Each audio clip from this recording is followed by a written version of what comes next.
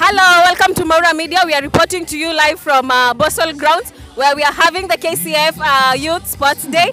And uh, the sports are on, and uh, with me is a guest who is going to tell us how the sports has been.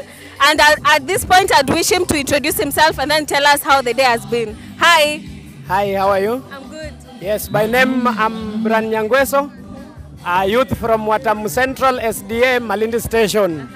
So the games have been so nice. Some of the games that are uh, taking place today, we have soccer boys and soccer girls. We have volleyball boys and volleyball girls. We have netball girls, and we also have uh, rugby boys who are also around.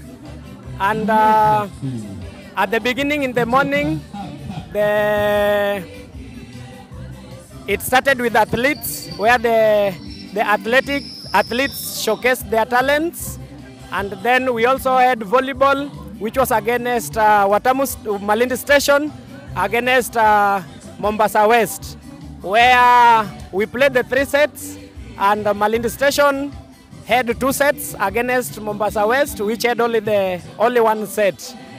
And then soccer boys was also played against uh, Mombasa Station and uh, against uh, Mombasa Station and um, Mombasa West and Mombasa Station. Yes, I exactly don't know the, the winner, but the game was well, so well.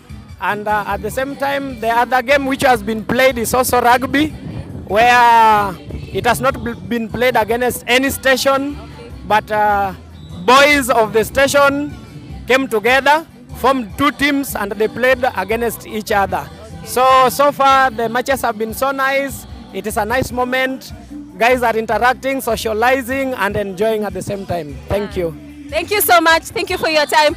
Yeah, so that's how the, the sports day has been in a nutshell. Stay tuned for more.